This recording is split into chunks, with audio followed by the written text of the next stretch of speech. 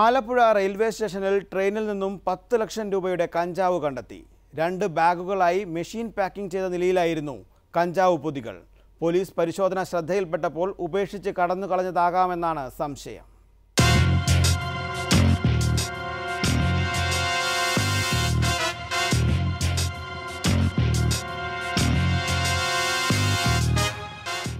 ആലപ്പുഴയിലെത്തിയ ധൻബാദ് എക്സ്പ്രസിലെ റിസർവേഷൻ കോച്ചായ എസ് വണ്ണിലെ സീറ്റിന്റെ അടിയിൽ നിന്നാണ് റെയിൽവേ പോലീസ് ഇരുപത്തിയാറ് കിലോ കഞ്ചാവ് ഉപേക്ഷിച്ച നിലയിൽ കണ്ടെത്തിയത്.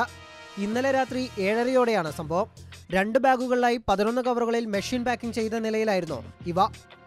പോലീസ് ട്രെയിൻ പരിശോധിക്കുമെന്ന് ശ്രദ്ധയിൽപ്പെട്ടപ്പോൾ കഞ്ചാവ് കടത്തിയവർ ഇവ ഉപേക്ഷിച്ച് കടന്നു കളഞ്ഞതായാണ് സംശയിക്കുന്നത്.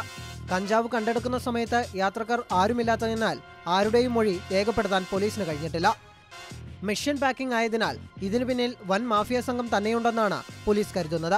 ഇത് സംബന്ധിച്ച് കേരളത്തിന് പുറത്തേക്ക് അന്വേഷണം വ്യാപിപ്പിക്കാൻ ഒരുങ്ങുകയാണ് പോലീസ്. ലോങ് റൂട്ട് ഓടുന്ന ട്രെയിനുകളിലാണ് കൂടുതലും ഇതുപോലുള്ള കോൺട്രാബാൻഡ് മെറ്റീരിയൽസ് വരുന്നതായിട്ടുള്ള ഇൻഫർമേഷൻ കിട്ടിയിട്ടുള്ളത്.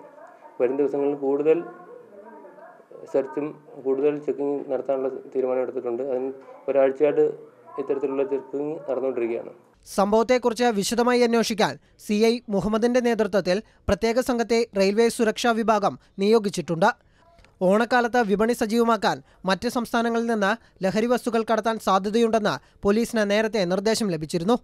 ഇതേ തുടർന്നാണ് റെയിൽവേ സുരക്ഷാ വിഭാഗം പരിശോധന നടത്തിയത്. ഏഷ്യാനെറ്റ് ന്യൂസ് ആലപ്പുഴ.